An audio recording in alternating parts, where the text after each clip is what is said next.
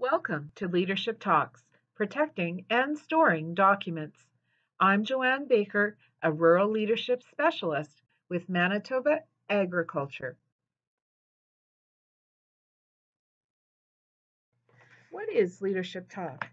Manitoba Agriculture Industry Leadership staff provide free webinars on building the organizational capacity within the agriculture sector, which results in high performing organizations. This content is designed for informational purposes only.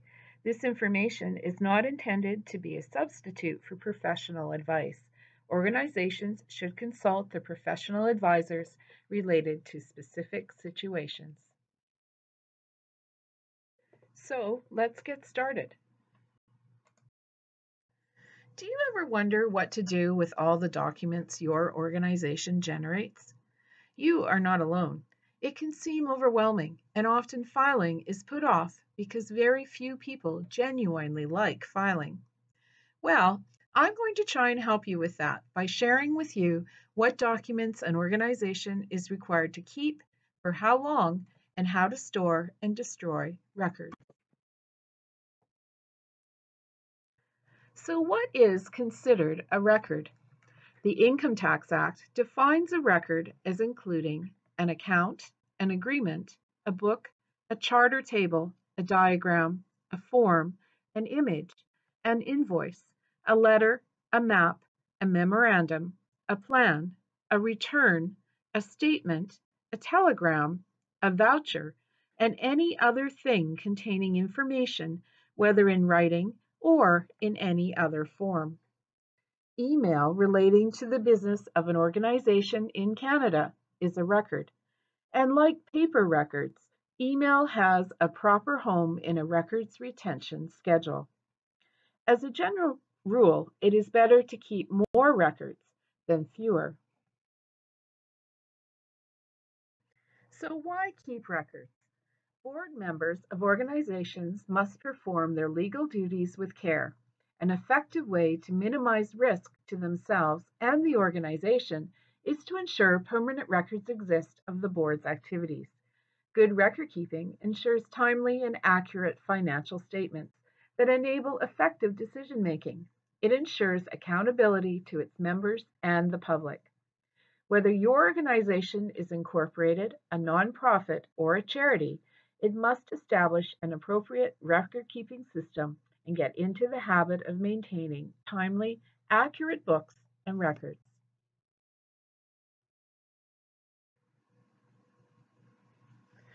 Record keeping helps an organization operate efficiently and effectively. It is essential to meet government and legal obligations. From a legal perspective, keeping governing documents and minutes of board meetings in good order is important. Minutes record all important decisions and the rationale behind them. Good minutes demonstrate that directors have upheld their fiduciary duty. It is important to note that once the official minutes are approved for a meeting, all notes made by the board should be destroyed. This is because they are not the official approved minutes. Should there be a litigation, any unofficial notes that board members have written could be used and they may not be an accurate picture of the official meeting minutes.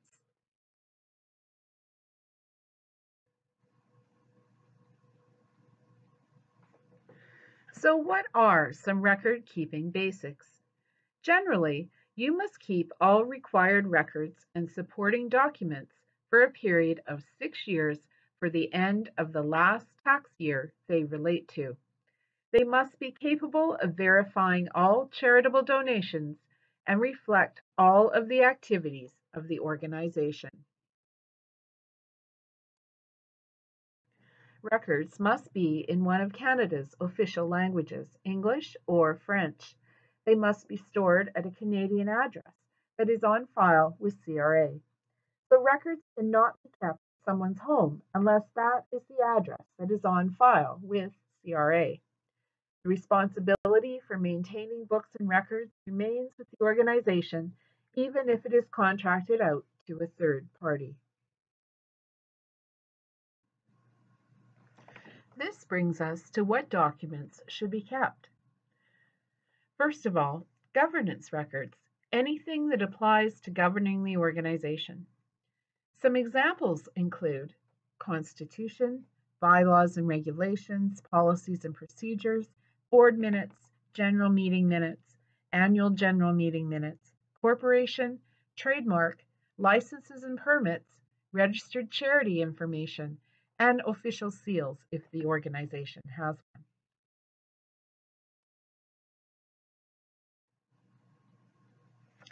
Other documents include financial records, anything of a financial nature. So some examples are ledgers, bank statements, canceled checks, financial statements, credit card statements, bank reconciliation, investment, fundraising materials, petty cash, donation receipts, payroll, tax returns, audit documents, and grant information.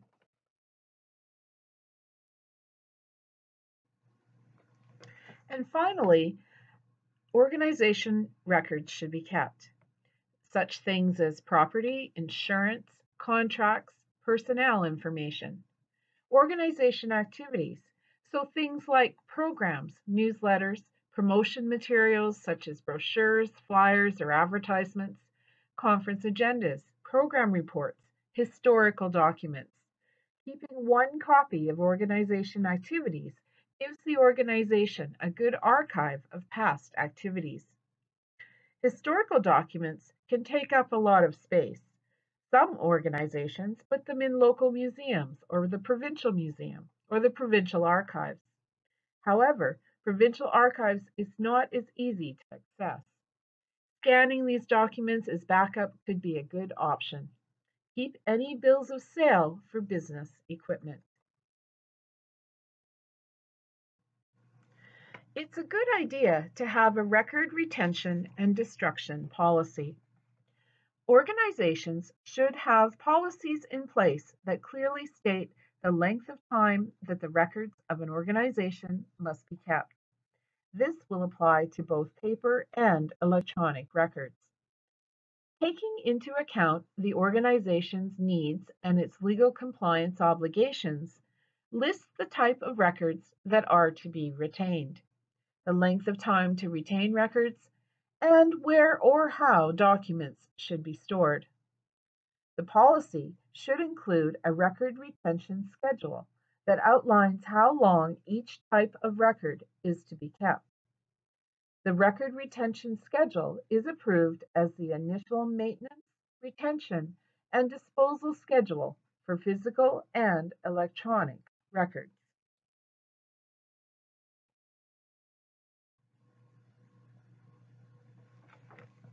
List who is responsible for supervising compliance with the policy. So who will be in charge of record retention and destruction? Who will be in charge of organizing documents to be kept and saving the backup copies? Whose role should periodically update and audit the policy according to federal and provincial laws? It should include what to do should litigation occur. Don't dispose of records provide what is asked for, and seek legal and financial advice. And finally, the policy should outline how to dispose of records. A record retention and destruction policy often includes a record retention schedule. Canada Revenue Agency regulations require records and supporting documents to be kept for a period of six years from the end of the last tax year they relate to. The tax year is the fiscal period for corporations and the calendar year for non-incorporated organizations.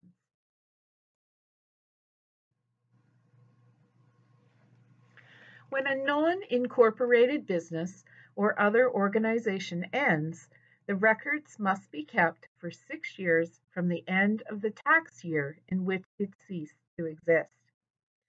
When a corporation or charity is dissolved, records must be kept for two years after the date of dissolution. Canada Revenue Agency regulations require some records to be kept as long as the organization is in existence and for a minimum of two years after the date the organization is dissolved. Keep email the time frame of the category it pertains to.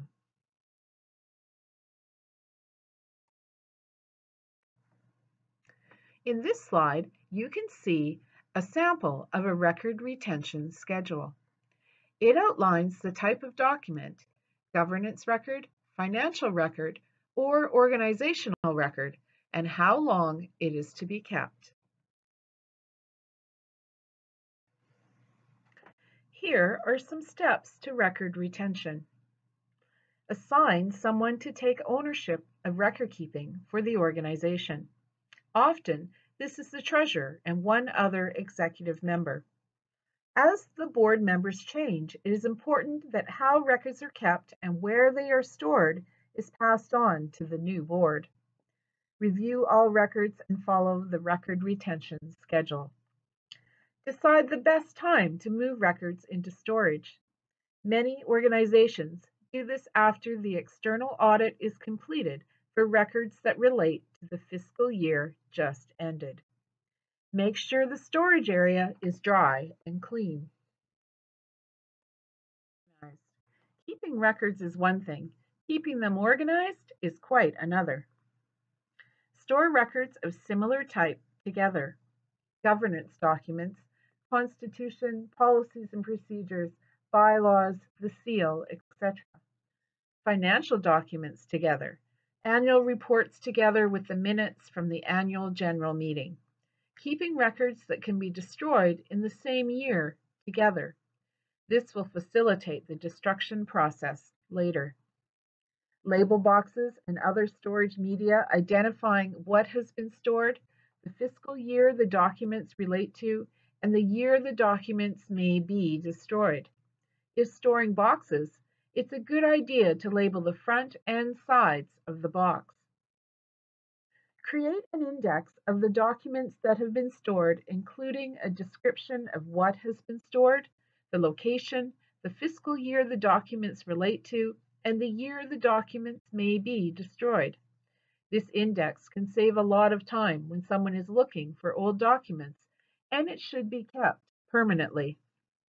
A safety deposit box is a great place to store important deeds and documents, thumb drives, or portable hard drives. It is very important that access to the box is available to several board members. Keep the keys to the box in a safe place. And finally, keep fragile documents in acid-free sleeves.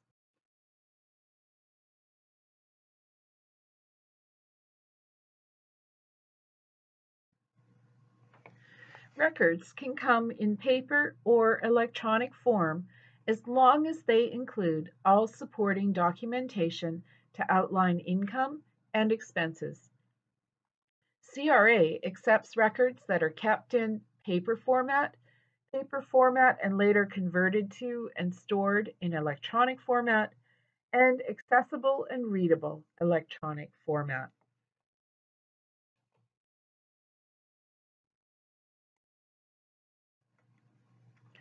It is recommended to back up records and keep them at a separate location within Canada.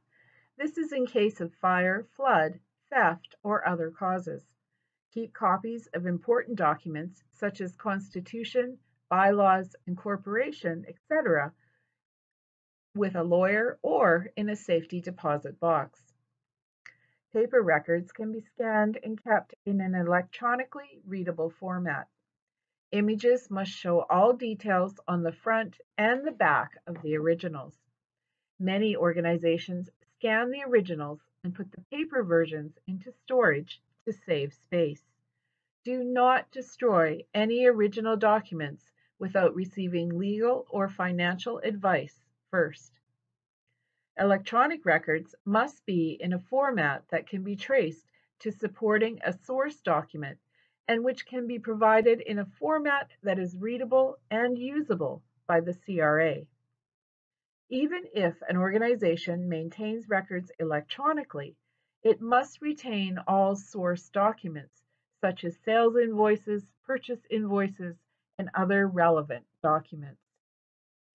It's also important to ensure a proper record backup in case originals are damaged or destroyed.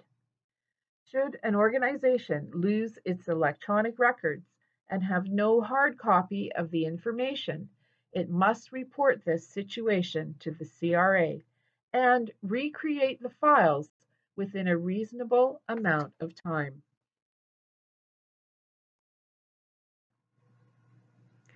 The CRA Books and Records Retention Destruction document outlines further details. It can be found at the canada.ca website.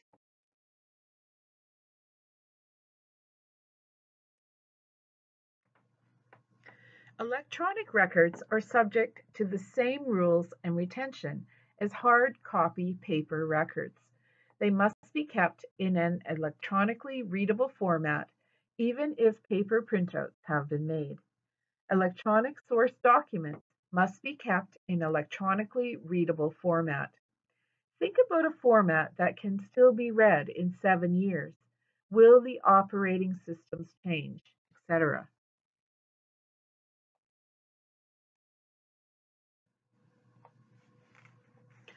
Scanned images of paper documents that are maintained in electronic format are acceptable if proper imaging practices are followed and documented.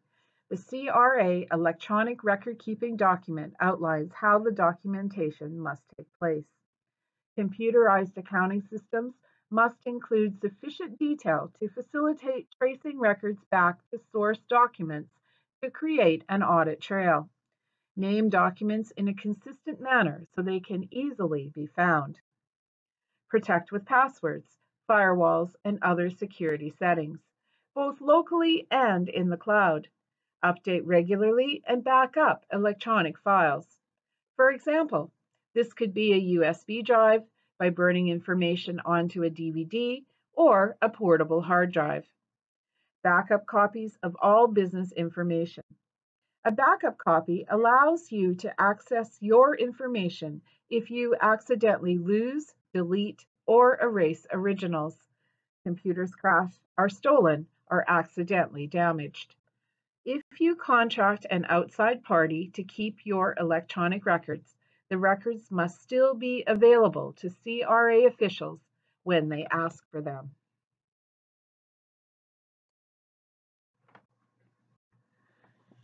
The CRA electronic record-keeping document outlines all requirements, including documenting the scanning of paper records and the integrity and security of electronic records, how to put controls in place to ensure that records are accurate and have not been changed. It can be found at the canada.ca website.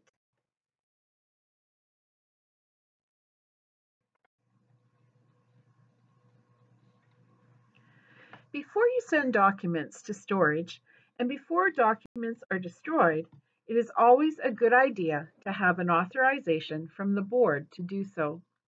This will provide a thoughtful second look at whether the documents are being retained or destroyed appropriately.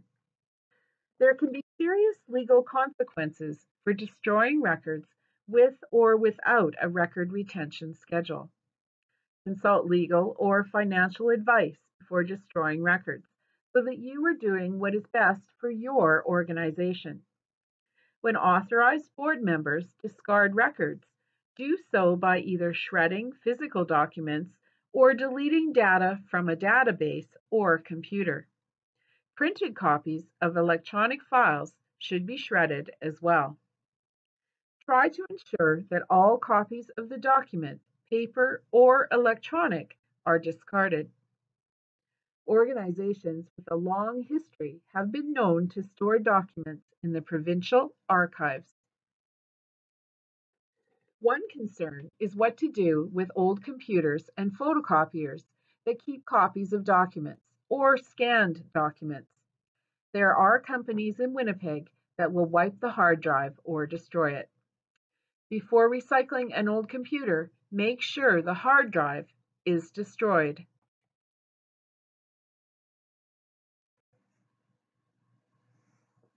Privacy legislation also impacts how information is stored as there is the need to ensure appropriate safeguards are in place to protect the privacy of individuals' personal information. It is recommended that such organizations provide their members, donors, or supporters with an opportunity to decline to receive further communications. The Federal Personal Information Protection and Electronic Documents Act covers the collection, use, or disclosure of personal information in the course of any commercial activity within a province, including provincially regulated organizations. The definition of commercial activity is any particular transaction, act, or conduct, or any regular course of conduct that is of commercial character, including the selling, bartering, or leasing of donor, membership, or other fundraising lists. Most nonprofits are not subject to the Act because they do not engage in commercial activities. This is typically the case for most charities, minor hockey associations, clubs, community groups, and advocacy organizations. Collecting membership fees, organizing club activities, compiling a list of members' names and addresses, and mailing out newsletters are not considered commercial activities. Similarly, fundraising is not a commercial activity. For more information, go to www.priv.gc.ca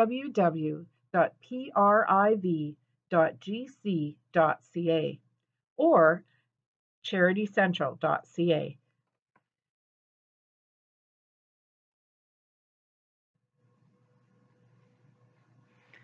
For personnel records, collect only the information that you need.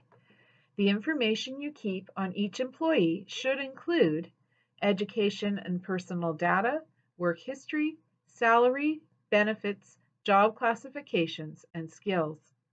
You can find further information at the canadabusiness.ca website.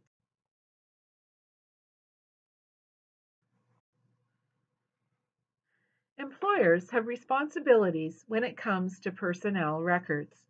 Every employer shall make and keep a record in respect of each employee, showing the date of commencement of employment and the date of termination of employment, and shall keep such record for a period of at least 36 months after the date of termination of employment.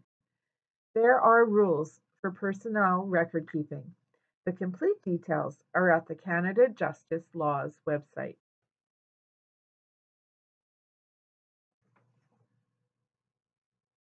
As a board, it is your fiduciary duty to retain records properly. Some are covered by Acts legislation. The Corporations Act, for example, which is a good standard for everyone to follow. Write a record retention and destruction policy. Back up paper and electronic records. Follow the policy for record storage. Over time, laws change. Review record retention policies on a regular basis and always consult a lawyer or accountant before destroying records. For further information on organizational record keeping, go to the canada.ca website.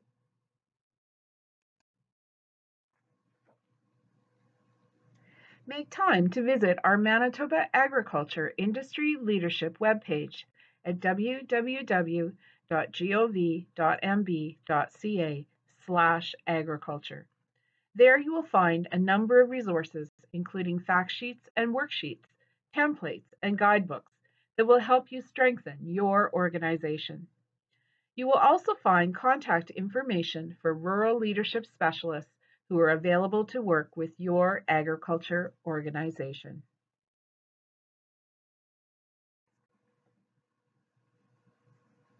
The website contains a wealth of information related to starting an organization, developing a strategic plan, being a board member, board operations, dissolving an organization. The Resources section also contains a number of tools and links that you will find helpful.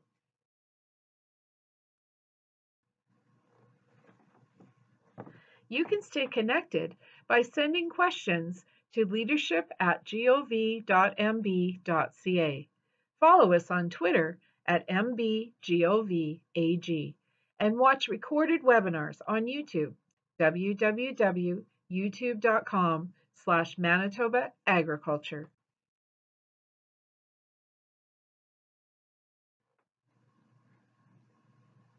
Please join the conversation with Manitoba Agriculture. Subscribe to our newsletter. Follow us on Twitter, twitter.com slash mbgovag. Visit our website, manitoba.ca slash agriculture. Call our General Inquiries line 1 844 769 6224. View our videos on YouTube, youtube.com slash Manitoba Agriculture.